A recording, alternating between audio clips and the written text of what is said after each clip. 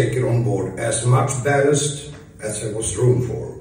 To get it exactly the way I wanted it, I went down myself with a lantern to stow the stones and get in as much as I could.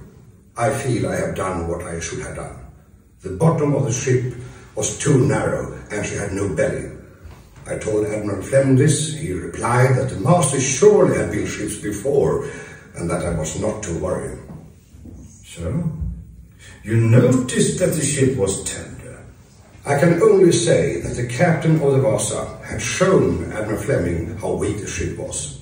While the ship was docked below the Royal Palace, he had 30 men run from one side of the ship to the other in the presence of the Admiral. After they had run back and forth three times, the Admiral ordered them to stop. Had they continued, the ship would have overturned.